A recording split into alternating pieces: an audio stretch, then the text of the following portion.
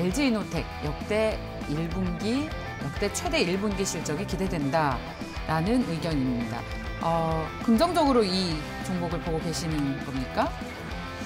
네, 네. LG인노텍 지금 이제 1분기 주총치 같은 경우에도 지금 영업이익 한 3,100억 이상을 지금 잡고 있는 상황이고 이 수치는 작년 1분기 대비해서 한 78% 정도 이상의 그런 영업이익 추정치라고 좀 볼 수 있겠고요. 지금 현재 뭐 LG이노텍은 이 대표적인 어떤 좀 애플 관련주로 분류가 되고 있잖아요.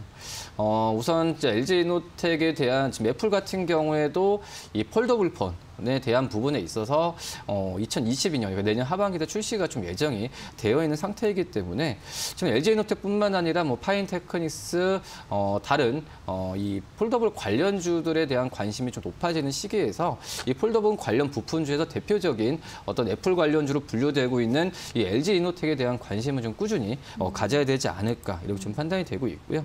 뭐 기판 쪽이나 여러 가지 뭐 전장 부품 쪽 같은 경우에도 지금 사업 부분은 전체적으로 다 좋다 라고 좀 볼 수 있겠고 그리고 이제 그 전장 부품 같은 경우는 아시다시피 뭐 차량 반도체에 대한 뭐 공급 부족이나 어, 여러 가지 부분의 이슈에도 불구하고 이 LG 이노텍 자체에 대한 전장 부품에 대한 부분은 해외 쪽에서 해외 쪽에서도 생산에 대한 안정화나 여러 가지 부분에 있어서 좀 긍정적인 상황으로 가고 있지 않을까 이렇게 좀 판단이 되고 있습니다.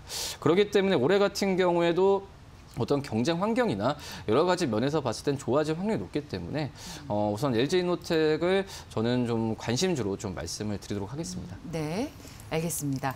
자, KTB 투자증권 여의도 지점의 이성훈 과장과 함께했습니다. 과장님 고맙습니다. 네, 감사합니다.